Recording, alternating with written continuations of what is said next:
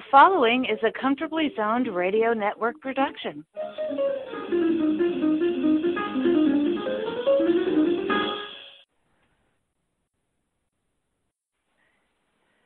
Okay, welcome back to the uh, Retro Rangers podcast. I'm George Grimm, and I'm here with former uh, Associated Press sports writer and author of many books on many sports, Hal Bock.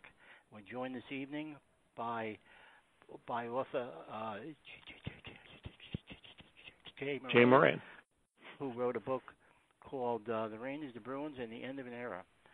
Now we're going to be talking about the uh, the uh, Derek Sanderson fight in the 1970 playoffs, and also the the uh, death of of uh, Terry Sawchuk a few months later. Now this all happened 50 years ago, if if you can believe that. 50 years have passed since this happened. So now the 1970 playoffs, the uh, Rangers ended up in fourth place, um, and they were and they had to play the uh, the uh, Bruins, who ended up in in uh, second place. Now, if you recall, the Rangers only made the playoffs because they uh, scored nine goals in the last game of the season to beat Montreal and edge themselves into the playoffs. Now, you would think that uh, after a game like that, they might enter the playoffs with a little bit of uh, momentum. And but you know, this is the Rangers, and you know, you know, uh, we don't uh, you know work that way. So um, the Rangers lost the first two games in Boston, eight to two and five to three, and then they came home to play the Bruins for for uh, two games. Um, you want to pick it up, Jay?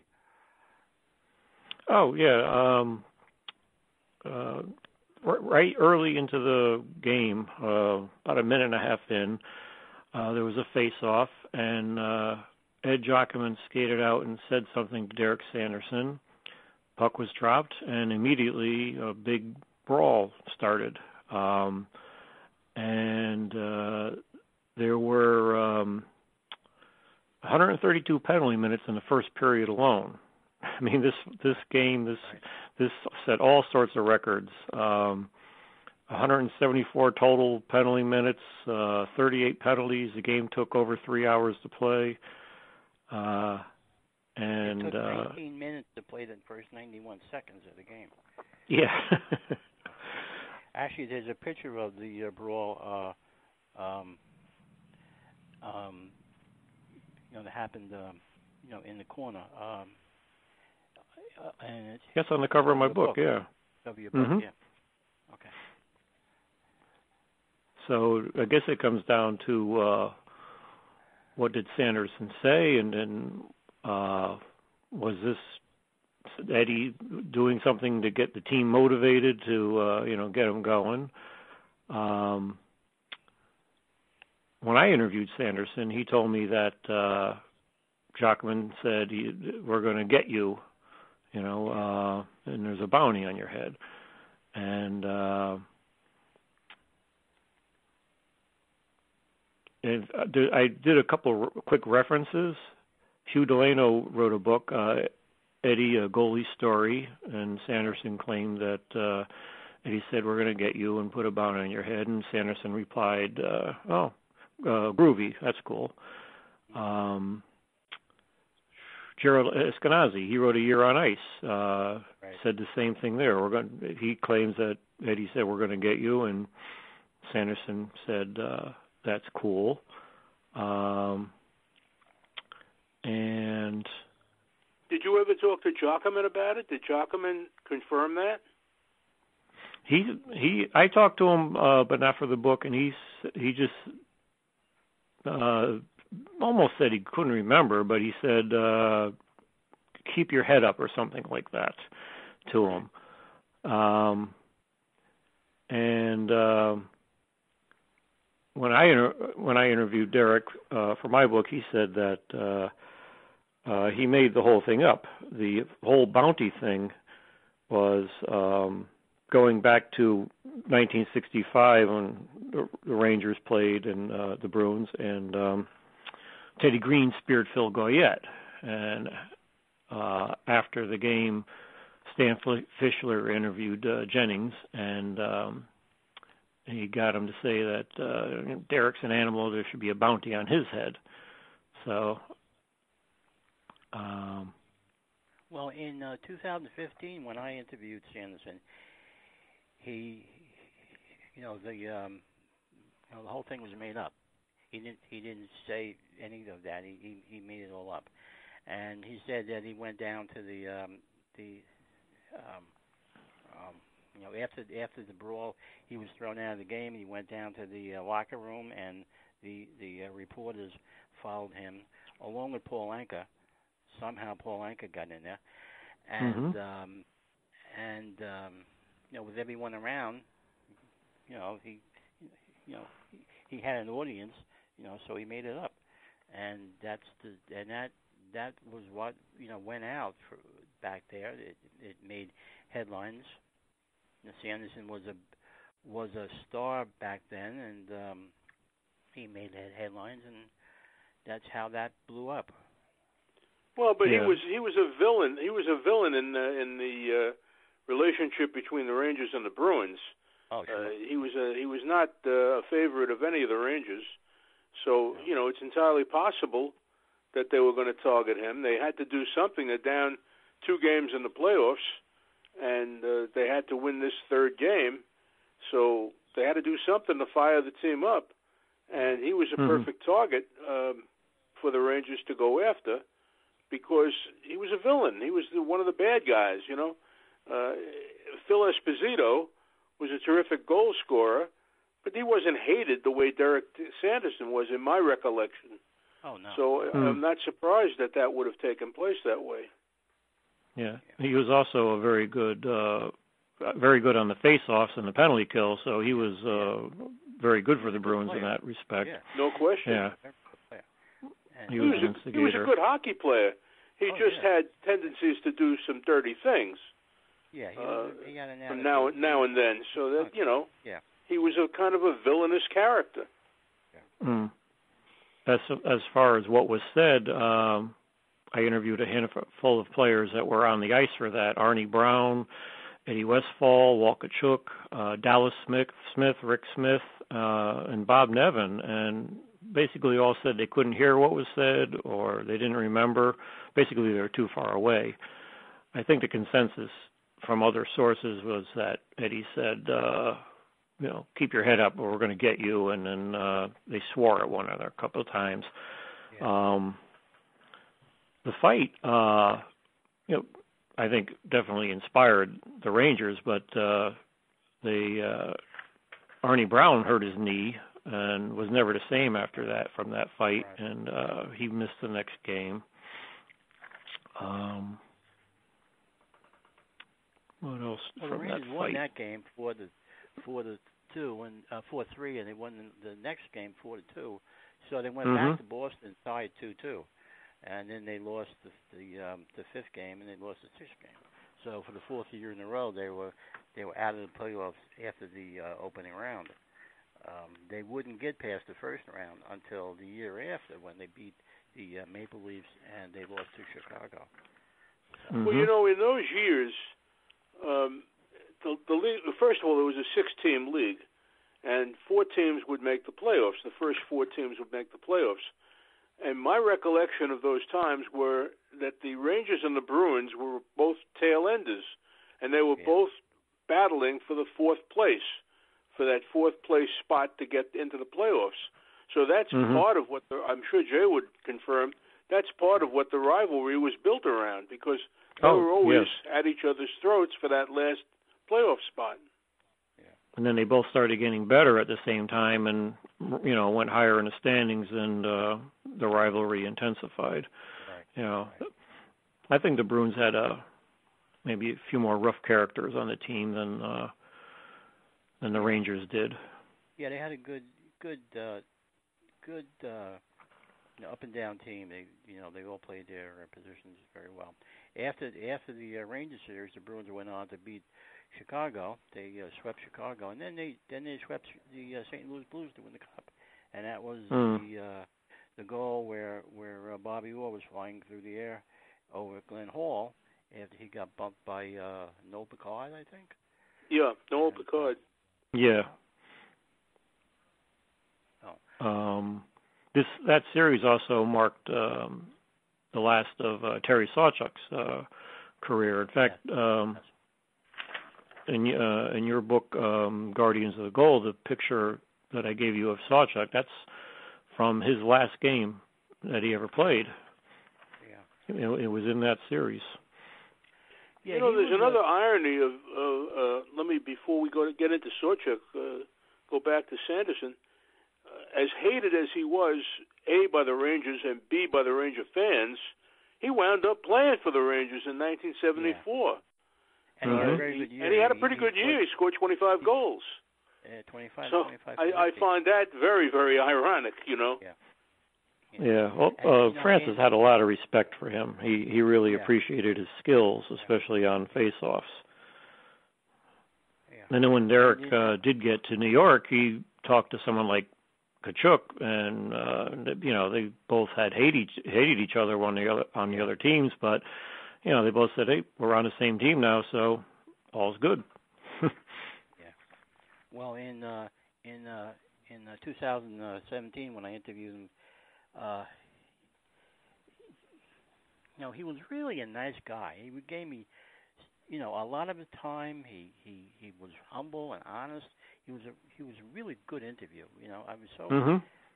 you know, and you know, um, you know, all those years that he was, um, um, you know, up there. You know, I really hated the guy. You know, when he was, um, you know, with the Bruins, but uh, he he was really a, a fantastic interview.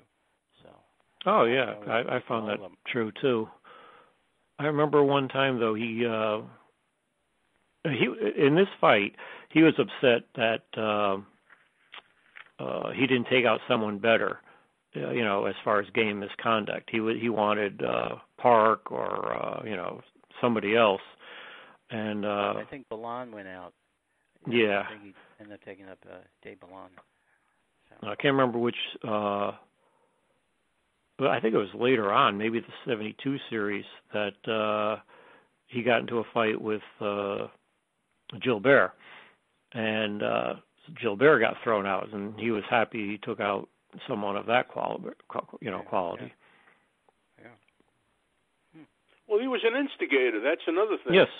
Yeah, and Yes, you know, definitely. Rod. Uh, Rod was not a fighter. Rod uh, Rod played his position, scored a lot of goals, and stayed out of trouble. But uh, Sanderson was an instigator, and and that was a lot. A lot of the games in those days, guys would target the best player on the other team and try to take him out, uh, which made a lot of sense. And strategically, that made a lot of sense. And Mhm. and so uh, Rod had a had a, a job staying out of trouble because often other teams would go after him, uh, knowing that he was the the best scorer on the ice for the Rangers. well, like Montreal always used to send uh, send uh, John Ferguson out after him. Mhm. And That's so right, He was that's a right. big, tough fighter. You know, he, he- he's a good player, but he was a big, tough fighter. And you know, Yeah. Gilbert couldn't handle that. I asked Anderson, well, why didn't you go after someone like Ratelle, who had, you know, he was a very good scorer, and he said, well, there's not like no honor in taking someone out. He's a gentleman, you know. There's you get no points for trying to pick a fight with him. Uh, and I always wondered, well, how did Ratelle come up? And he never fought. I don't, I don't you know, you could probably. I don't think he had any majors, but um, No. when you're first coming up, you're going to be tested. Definitely, and unless you had a reputation, maybe in the minors for never fighting, but you know why didn't not only Sanderson but other players, knowing the skills of a Ratelle, try to get into fights with him? But he never fought. It can't just be that. uh Well, you know, he's he's a gentleman. We don't play that way. You, you don't get points, you know, for fighting a person like that. Yeah. Well, they had respect for him, you know, like you said, but Mhm. uh, it's true. I don't, you know, you have to, you know, wonder what happened there. Well, you know, he had uh, Vic Hadfield on his line towards the, you know, towards the, uh, uh, you know, 60s there, but when he came up earlier, he was on the line with uh, Camille Henry and Rod Gilbert. So, you know, who's going to protect him Mhm. there? You know? you know, Yeah, that's why Had Hadfield was added to the line, a little more muscle. He was, fi- you know, Vic was a fighter, especially early in, in his career there. Yeah. Um, Uh, the Rangers had well, Kurtenbach. Yeah, he um, was uh he was a presence. So Yeah. they didn't have a lot of fighters, but they had some big guys. Teddy Irvine, you know, Yeah. some Yeah. Um, yeah, Hadfield. Hadfield probably uh, you know saved them from from a lot too. Cause Well, they when they got Ted Irvine, that, they got him in a trade for Camille Henry, and no, that was the, uh, first of all, Cammy was Robinson. a tremendous favorite here in New York, and the deal was made because Camille Henry was about five foot ten, and Ted Irvine was about six foot three, and Emile Yeah. wanted more muscle. He wanted the guys to be bigger, his team to be bigger, and that that trade uh, really raised a ruckus uh, because Camille was such a f- popular player here in New York yeah. and he was Irvine was kind of a non-entity pretty much. But uh, Yeah. you know, it's a strange game sometimes. Yeah. mhm. So, so that brings us to to uh, Terry Sawchuk. Now, uh, now uh, Sawchuk was uh, you know one of the best goalies in NHL history uh, of his time. He he played for uh, 21 seasons. He won four Stanley Cups, four uh, Vezina trophies. He was a seven-time All-Star, and he's in the Hockey Hall of Fame. So, but in and he has uh, 103 regular season shutouts. That's that's amazing. Um, so he, um, the uh, spring of 1969, the Rangers needed a backup goalie. They had been using uh, Don Simmons, and Simmons retired, and um, Emile wanted someone who would just be able to play, you know, half a dozen games, maybe eight games, ten games, and you know, Sawchuk was the best uh, one out there. So he was 40 years old, and the Rangers got him and Emil was uh, was uh, surprised when he was in camp because when he played, uh, you know, he was like, uh, you know, 220 pounds early earlier in his career. Mm. But when he came to the Rangers, he was he was uh, he was 180. So you Yeah. know, was really shocked at his uh, his appearance. But he he uh, did what he was was asked to do. He played in eight regular season games.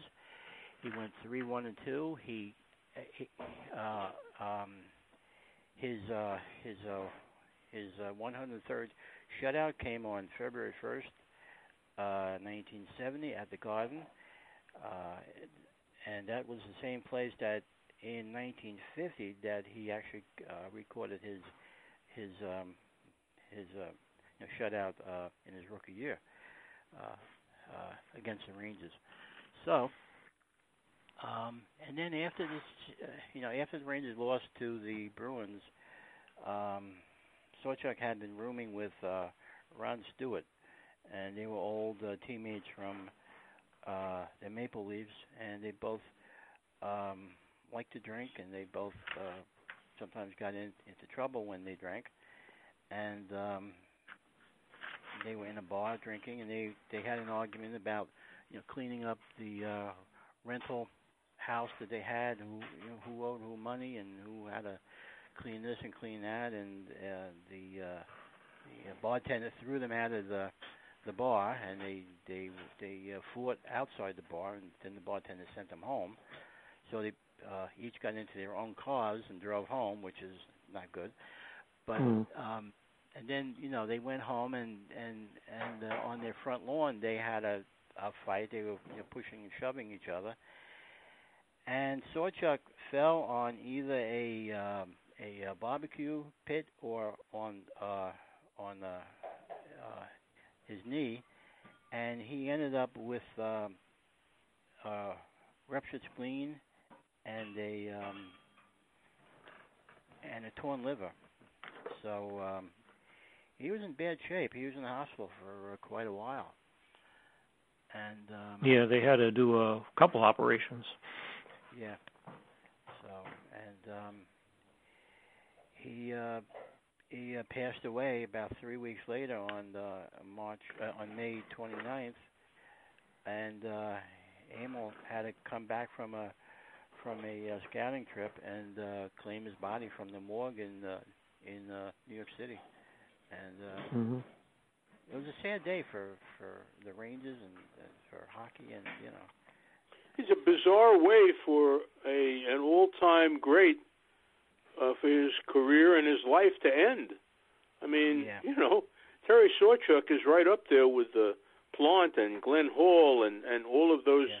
legendary goaltenders of the '60s, and for him to die in that bizarre, eh, really bizarre. That's the only word I can think of. Uh, in, in that bizarre fashion, uh, kind of Mhm. strange, really is. You know. Yeah, and the Rangers were accused of covering it up because they didn't let the press know that he was in the hospital. But the real reason was they were trying to get in touch with uh, Sawchuk's father to let him know what had happened. That's why the press was kept out of it for a while. Yeah. Um, that brought in an incident too, where um, um, Stan Fischler's uh, wife Shirley uh, got an interview with Sawchuk, and um, she never said she was a reporter. And uh, right, right. and he was he did say well, we were just horsing around. It was an accident. It was nobody's fault.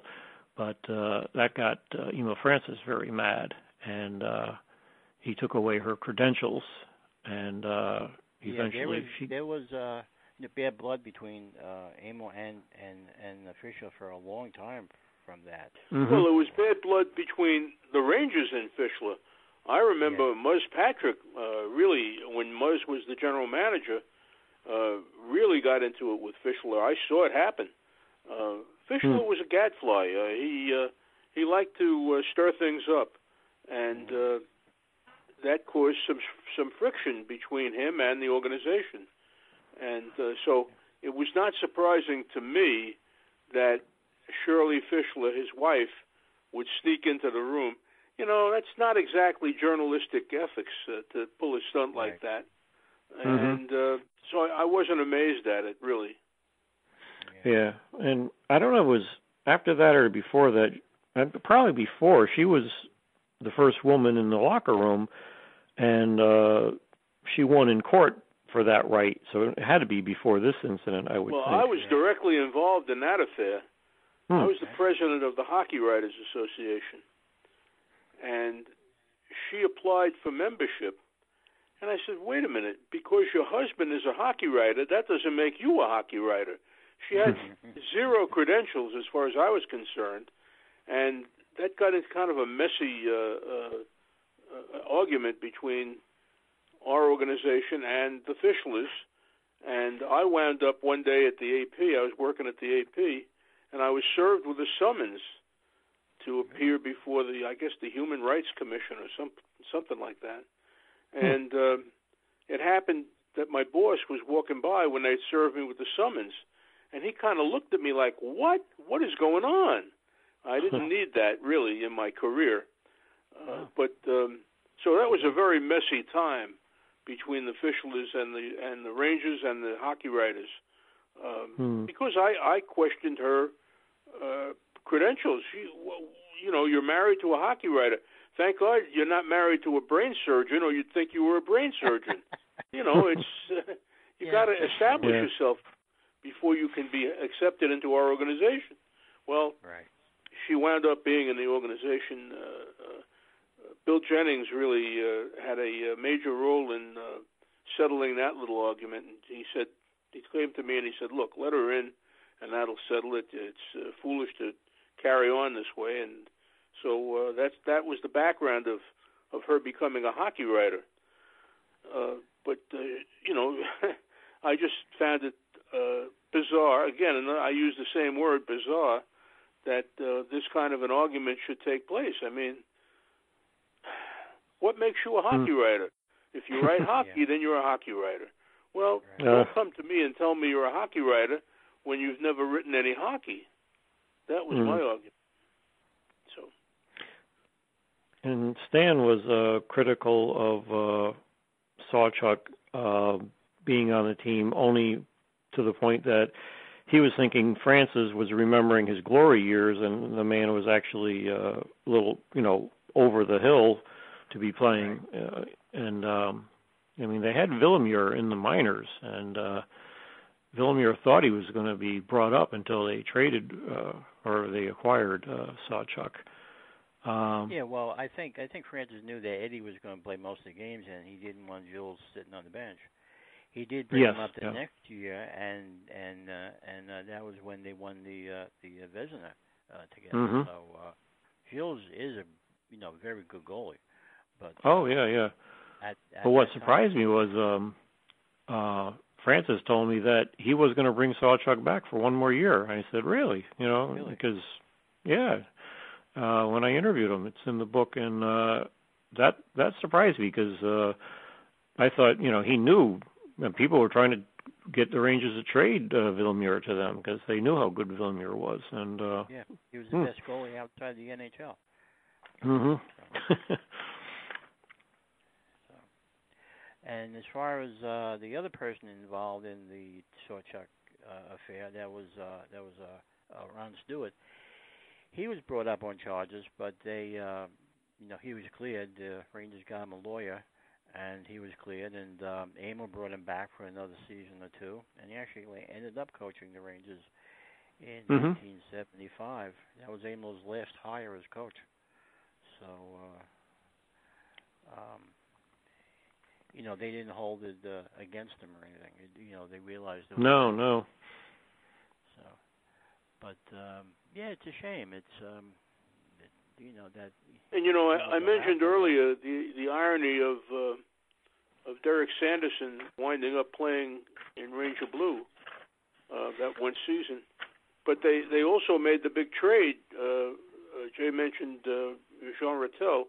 Ratelle wound up in Boston along with Brad Park, and the Rangers got Phil Esposito, who at that time was probably the the biggest name in the league because of his Yeah. goal scoring uh, ability, and Carol Mhm. Vadnais in, uh, in that trade, and uh, that really broke up broke up that old gang of mine really uh, because Yeah. shortly thereafter uh, Eddie Giacomin wound up playing for the Detroit Red Wings. So Yeah. Emile had made the decision to to break up the team that had uh, done very well for many years, but had not brought home the Stanley Cup, which was, of course, Yeah. the ultimate goal. Yeah, But it was a lot of ironic changes. Mm. That the Bruins would send Phil Esposito and Carol Vadnais to New York, and the Rangers would send Brad Park and Jean Ratelle. These are these were guys who were not just uh, also rans on the roster. These were the stars of the team, both teams. Uh, so Hmm. it was a it was a blockbuster trade. I had Yeah, very- that Harry Sinden wanted to send, uh, I think, uh, I think uh, Dallas Smith with Espo, but uh, Francis didn't want Smith, so he he brought uh, Vadnais over, and Vadnais, Mhm, Yeah. and supposedly Vadnais had it in his contract that he wouldn't get traded, you know, um, you know, after, you know, um, you know, like uh, in in uh, in uh, October, you know, November, something like that, you know, um, uh, only after the season and so he he uh, held out for more money because you know they traded him, you know, and he had to move his family and everything. So he he he uh, held out for more money. So and you know they he got it. So And Ratelle had a very good career in Boston. Um, yeah, I, I don't. It, it actually extended his career. He had considered uh, retiring at some point, but um, he he played almost I think up until 1980, 81 maybe. So he and I think He uh, saved the organization afterwards too. He worked in the Mm. front Yeah. office. Yeah, yeah. And I think Brad Park played more games with Bruins than than the Rangers. Is that right? Uh, yeah. Uh, I think so. Yeah. Yeah, not many, but he did. So I think that might be one of the reasons why they haven't, you know, hung his number up. But uh, um, I don't know. I I think he should have his number retired. He's Brad Park. He's the best best uh, defenseman we had back then. He was our Bobby Orr, you know. That's right. That's right. He was. He was. Uh, he wasn't Bobby Orr, but he was, you know, as you know, pretty close to it, you know. And uh, So did he play with Orr in Boston? I think for Uh, four games. yeah, yeah, Four very similar. games? Yeah, That's it. And and Orr's knee was so bad that yeah. And then Orr ended up in Chicago. How did that happen? Mhm. Orr, Orr played in Chicago briefly, Yeah. but he I was done. Nicholson- You're right. The knees uh, gave out on him. Yeah. I Yeah. think uh, Al Nicholson arranged some kind of deal where he went to Chicago, and uh, Orr didn't want to go or something, but uh, Yeah, I don't remember the details now, but um you know, as bad as the Ratelle trade was, I hated that trade. You know, in '76 they traded Rick Middleton for Ken Hodge. uh, yeah. And uh yeah, I guess Esposito Esposito wanted his old buddy back, but he was a little over the hill then and Middleton went on to you know, how many goals did he score? It's like, oh. Well, uh the uh, reason that uh, John Ferguson gave was that they wanted to get uh uh Middleton away from the New York uh, nightlife. And I think Walt MacPeek said um wondered uh, out loud if if they didn't have uh, bars up in Boston. So um hmm. so um yeah. That's that's supposedly why they got rid of Middleton. But yeah, he would have been a he would have been fantastic down here. But uh we got Ken Hodge and Hodge played maybe a season and a half. Um Hodge was part mm. of the uh great right wing uh purge the following year when they got rid of uh uh Hodge and Bill Goldsworthy and uh Roger Bear uh, right before mm. uh, Thanksgiving. And um that was John Ferguson. So and then uh, I think that was the end of Ferguson too. So. Yeah. You know these are these are major transactions that were made in those days, and you don't see any of that today. Uh, I I mean I'm not as close to the game as I once was, but it doesn't. It seems to me that you don't have those kind of trades anymore. I mean, am I right or wrong? No, you're right. Well, right. You got um, salary cap. You got salary caps. You got uh, no trade contracts. You got you got um, uh, you know contracts where the guy can say you know uh, you know uh, um, you know, I don't want to go to uh, Los Angeles. I don't want to go to Chicago. You know, so mm, sure. That sure. So um, and yet, harder now to trade these guys. Yeah, it, it is hard harder, and yet there seems to be more turnover. Not major trades, but more turnover. I mean, the teams back in the '60s and '70s, all the teams didn't change their rosters much around, and uh, you know nowadays it's much more fluid. But you're right, like a big name for big name, it's is not as common. Um, getting back to Terry Sawchuk for a minute, I wonder how today's players how much they know their history. Um, you know, they might I remember. Not at all. I would guess Yeah. not at all. The, Yeah, the athletes that like- I've talked to, the athletes that I've talked to over the years, have very little appreciation of the history of the game. And I'll Hmm. take you for a moment to baseball. Uh, when the uh, the New York Mets acquired Vince Coleman, who was a uh, terrific base stealer with the Cardinals, and they came to Mhm. the Mets, and he was in spring training, and we uh, went up to talk to him, and they were getting ready to celebrate Jackie Robinson Day, which they do every year in April to mark Mhm. Robinson's debut with the Dodgers. And so we went up to Vince Coleman, who was a black player, and we said, uh, "What do you think about Jackie Robinson Day?" And Coleman said he had never heard of Jackie Robinson. Who is Jackie Hmm. Robinson? Well, I mean, now we have a real problem here, you know. Yeah. So I, Yeah. I think in general, I don't think the players of today uh, have any appreciation for or interest in what went before. They're only interested in themselves and what's going on right now. That's my Mm. experience. Why do you think that is? Because they don't they don't read about the game. They don't they don't care about. I, I uh, think what they're happened? so involved in playing the game from a young age that Yeah. The, the history of the game is lost upon them and and of very little interest to them. It's almost like Yeah. the game started when they came along, you know. Yeah. Yeah. Well, when they're growing up and they're young, they would have a, a poster of someone, you know, on their wall, w- w- which they had to be active.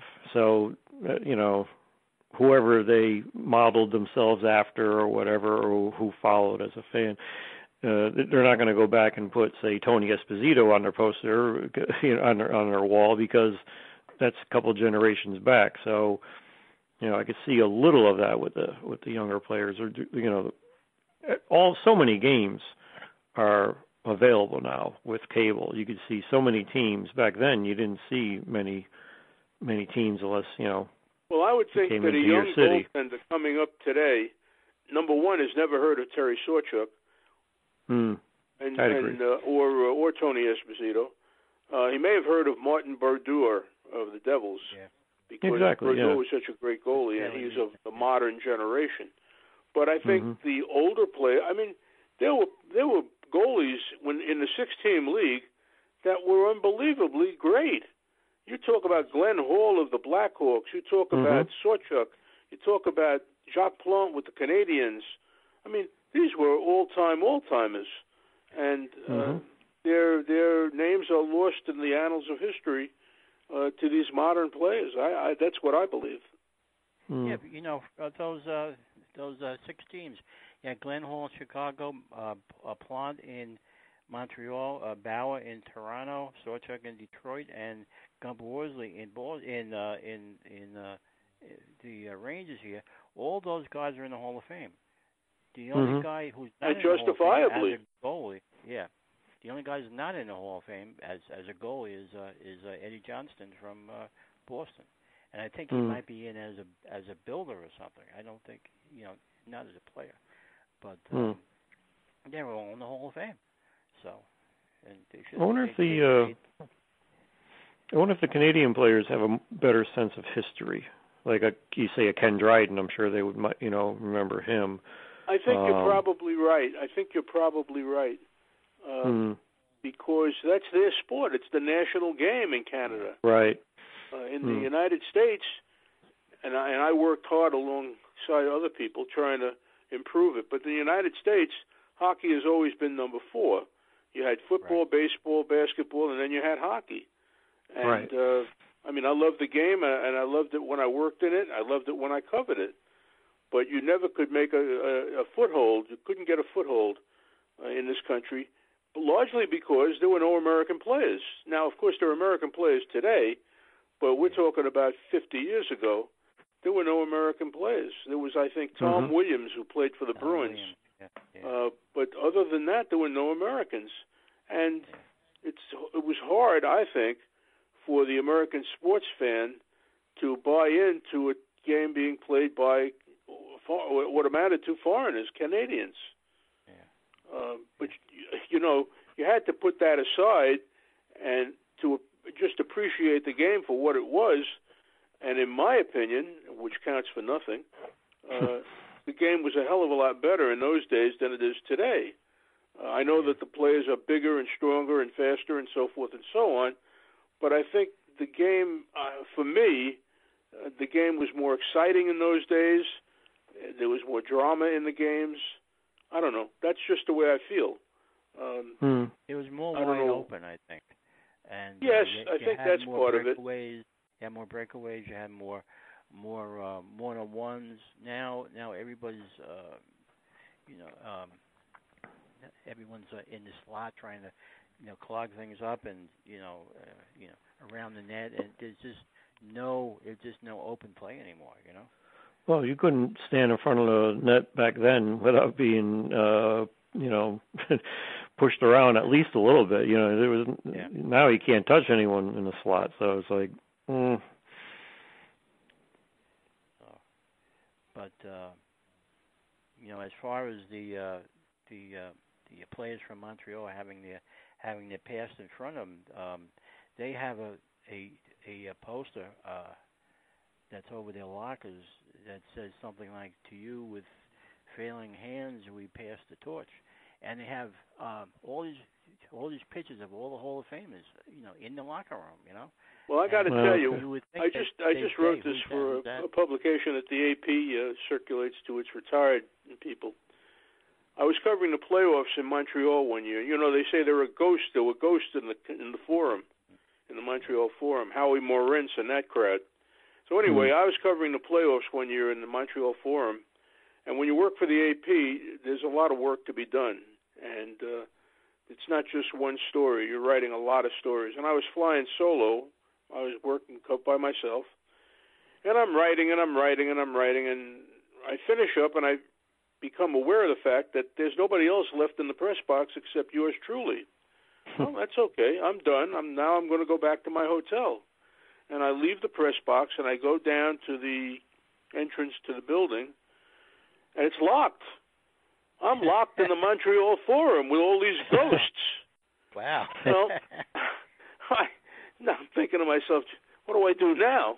Well, I found my way to the warehouse uh, door, the, the one of the back doors of the forum, and there was an old French Canadian uh, watchman. Now I took four years of high school French, not for nothing.